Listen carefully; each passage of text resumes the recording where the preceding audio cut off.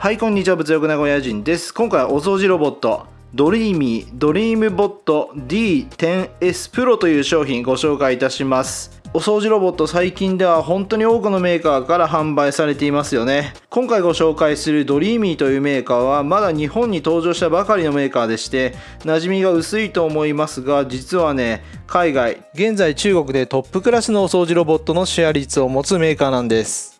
しかも世界120カ国に進出していましてやっと日本に上陸したというメーカーです。そんな Dreame のこちら DreameBot D10S Pro という商品ねありがたいことにレビュー用に提供いただきましたのでご紹介していきます。このお掃除ロボットですけれどもビックカメラとビックカメラ .com のみの販売ということでね専売品になっていてねなかなか珍しいですね。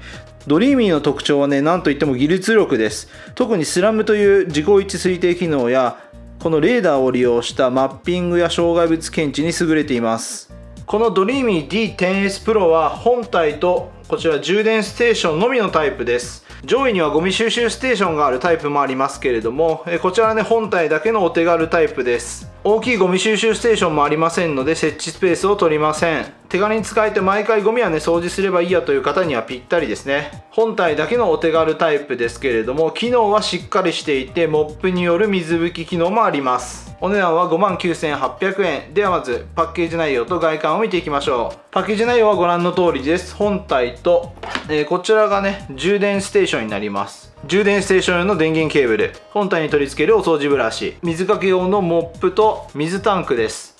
これねこれまで紹介してきたモップがけの機能のね水タンクより圧倒的に薄いです。このようにモップを取り付けて使えますそして説明書とクイックガイドです以上このようなパッケージ内容ですこちらがお掃除ロボット本体ですえー、黒基調でとてもかっこよくてね、モダンなデザインになっています。このお掃除ロボットは画像認識を使った AI と LDS レーザーというね、 Laser Distance Sensor という距離センサーによるマッピングを使って動きます。このね、出っ張っている部分がレーダーになります。このようにライダーナビゲーションと記載ありますね。そして正面についているこの AI アクションと書いてあるね、この部分がカメラになります。画像認識をする時の映像をね、ここから取得いたします。表面の蓋はこのようにパカッとね、開くタイプです。ここには髪の毛を切るカッターとブラシがついたクリーニングツール。ダストボックスはこのようにつまんで簡単に取り外しができます。こちらフィルターですね。えー、こんな感じです。ゴミを取り出すときはこのように大きく開きますのでお手入れも簡単です。この口からゴミがかき出されてダストボックスに入ってきます。底面です。このように大きな車輪が2つありましてこのようにしっかりとしたダンパーになっています。この部分にもセンサーがありまして、えー、階段から落ちるのをね防止するような機構が備わっています。そしてお手入れしやすいのはここですね、えー、このようにブラシです、えー、特徴はね見てください。こちら。このようなねゴムブラシというんでしょうか。普通のお掃除ロボットね、えー、毛のブラシが多いんですけれども、えー、毛のブラシだとね結構髪の毛が絡まったりですね毛自体が癖がついて変な方向に曲がってしまったりっていうことがあるんですけれども、えー、初めてですね私このタイプ。このようなシリコンというんでしょうかね、えこういったタイプのブラシになっています。ブラシを取り付けます。こちらが充電ステーションです。このようにとてもコンパクトですね。こちらがウォータータンク、えー、ここの部分にはめることで水拭きができるようになります、えー、ここにねこのようにはい、差し込んであるだけというねお手軽なタイプです。充電ステーションを設置いたします。ドッキングさせますと充電が開始されます。動作は連続で180分とね十分なバッテリー持ちです。吸引力は5000パスカル。お掃除に十分な吸引力を持ってます。このお掃除ロボットはアプリによる多彩なコントロールができるっていうのがねポイントになってます。では実際にアプリ開いて接続からお掃除までね使ってみたいと思います。こちらがね純正のドリームホームというアプリです。そしてまずはね何よりこのお掃除ロボットを登録いたしましょう。えスキャンで追加と手動で追加ありますけれども、本体の QR コードを読み込ませることでね、スキャン追加が簡単に可能です。ネットワーク接続を開始します。このお掃除ロボットがね、直接家の Wi-Fi につながります。スタートボタンと再充電ボタン同時に3秒押し。Wi-Fi 設定の完了を待機中です。ENSSID を入力します。ロボット掃除機がスマートフォンに接続されました。アプリをご覧に接続されるのをお待ちください。あ完了いたしましたね。ペットの排泄物を慎重に回避するようなね機能もあります。まず最初にね部屋をマッピングいたします。マッピングを開始します。約5分から10分間ほどかかります。マッピング開始です。このようにねライダー技術によってどんどんとマッピングされていきます。家のね見取り率がしっかりとできてますね、えーこれがね素晴らしい技術です。おやってきました。ちゃんとね部屋またいで認識していますね。結構動きもスムーズでどんどんとマッピングしてくれています。今はねお掃除しているわけではなく単にこうね部屋を把握しているという感じです。部屋の形をね把握しています。バッテリー残量がね33%ですね。これまだねフル充電終わってなく今撮影開始しましたけれどもまあね持つかなと思います。あもうマッピング終わったようですね。マッピングが完了しました。充電を開始します。マッピング終わりますと部屋をこのように認識してくれてまして、えー区間か全てか。おお黄色い部分とね廊下の部分がちゃんと分かれて表示されていますお掃除ロボットがいる場所もこのようにマップで表示がされていますね。おすごい。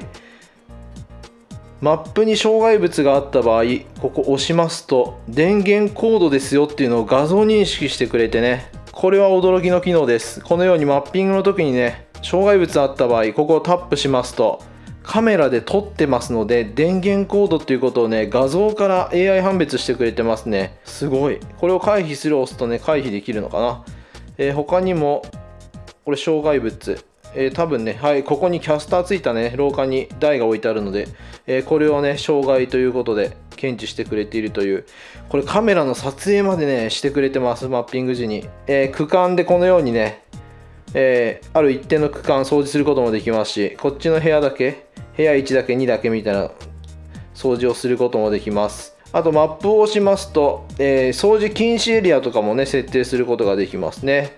えー 3D マップ、これなんでしょうか？はい。今、スキャンした家が3次元でできています。すごっ。えーではね、まず何よりも掃除してみたいと思います。この清掃開始を押せばいいかな。クリーニングを開始しますはい、開始です。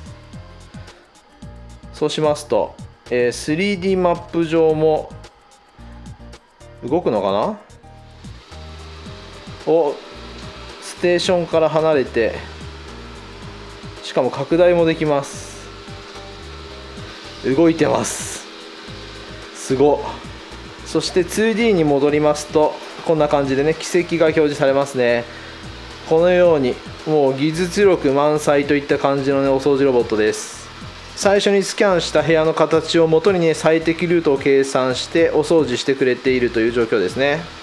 音も静かです。もう今ね夜中の12時過ぎてるんですけれどもかなり静かに掃除しています。そしてね事前にもうルート計算できてますのでこうゴンゴンと当たったりすることほとんどないですね。ほとんどというかないですね。もうかなりね丁寧に掃除してくれています。そして撮影しながらね掃除してます。識別結果。これ すごい。こんな感じで立ってますがこの、ね、青いのが障害と認識したものですね。あこれもコードが出てきてます。羊毛の上をちゃんと乗りましたね。段差があるということで乗り上げはね諦めてますね。なかなか賢明な判断だと思います。はい無事脱出できそうですね。すごいです。周辺を掃除した後に真ん中をジグザグ走行してね、え網羅的に清掃しています。この軌跡から分かるようにもう隅々までね無駄なくルート計算されて掃除できてますね。素晴らしいです。全くガンガンとね壁に当たることないです。細いとこもしっかりと掃除してくれています。やっと部屋1に出ていきました。廊下側ですね。もちろんセンサーによって階段から落ちることはありません。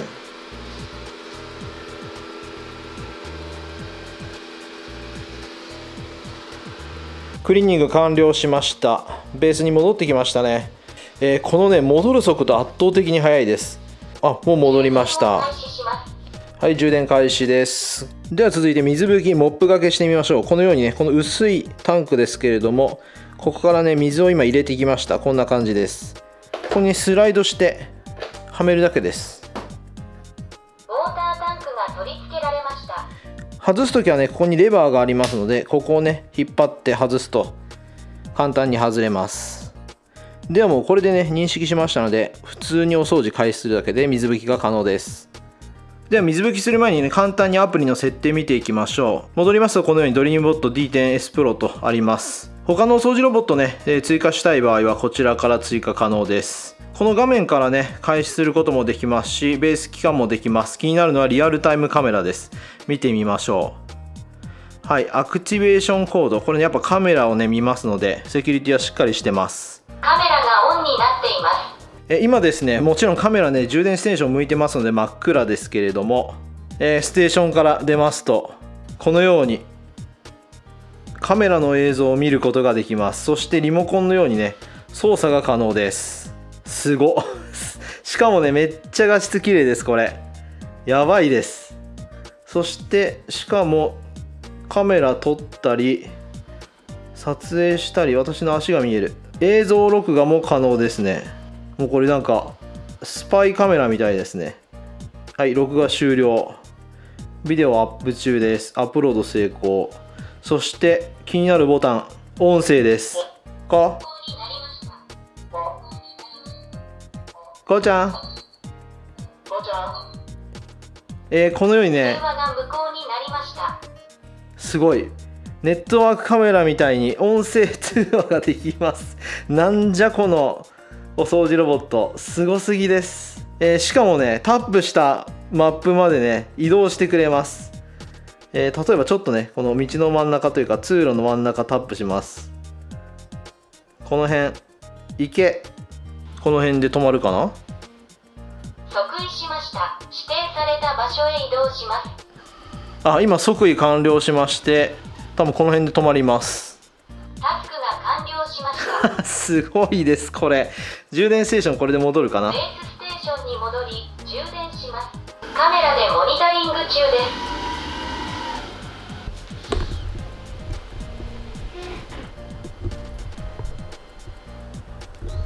充電を開始します。いやこのお掃除ロボット半端ないですね。そして中入りまして、えークリーニングモードねこのように水拭きだったりね吸引力モップの湿度までね設定ができますそして細かい設定ね掃除の履歴であったりクリーニング予約までできますね。テスト機能ですがカーペットのブースト機能で吸引力を上げることができます。えあと好みですね。強力丁寧毎日のモップがけこんな感じ。あと消耗品のね、えーパーセントも出てきます。AI で検知しますかどうかっていうのね、えー写真でね確認。やっぱねプライバシーありますのでこの辺りしっかりとチェック入れて写真をアップするという感じですね。はい細かく単位とかね音量とか設定できます、えーチャイルドロックまでありますね。はいあとハードウェアのねファームウェアの更新とかもできます。ではモップがけしてみます。クリーニングを開始します。今水拭きもしているモードですけれども、えー水分量はね多いの設定でちょうどいいぐらいですね。これまでね体験してきたお掃除ロボットよりねこのモップがけの水の量はさすがにねタンク薄いこともあって少し少なめだなと感じました。逆にねこの多い設定でちょうどいい具合の湿り具合ですね。モップがけの場合はこのようにねなんかモップの範囲までマップに表されています。薄くね白く。軌跡の線だけじゃなくて周りに出ているのがお分かりいただけるかと思います。圧倒的なステーションに戻る速度です。充電を開始します終わったらゴミをここからね取り出すだけです。簡単に取り外せます。中身見てみましょう。要注意です、えー10分程度の掃除で見てください。やば。めちゃくちゃ取れてます。こんな感じで細かいほこりがねしっかりと取れてますね。後ろのブラシはね毛の絡みが全くありません。このように綺麗ですね。ブラシと違ってお手入れがほんとしやすいです。ということでいかがでしたでしょうか？このお掃除ロボットのね凄さがお分かりいただけたのではないでしょうか？見た目はね一見普通のお掃除ロボットに見えてもうアプリの機能半端ないですね、えー、マッピングから 3D マッピングからねそしてルート設定バッチリ指定した位置に移動することもできますしなんといってもカメラついてますので映像を撮ることができます。もうねすごいお掃除ロボットだなと思いますね。こちらゴミステーションありませんけれども、えこの充電ステーションだけあればね、えゴミ捨てるのも簡単ですのでその分価格も抑えられているので本体の機能はね妥協せずに手軽に使うことができます。今回ドリーミーのドリームボット D10S Pro という水拭きロボット掃除機ご紹介いたしました。今回もご視聴いただきありがとうございました。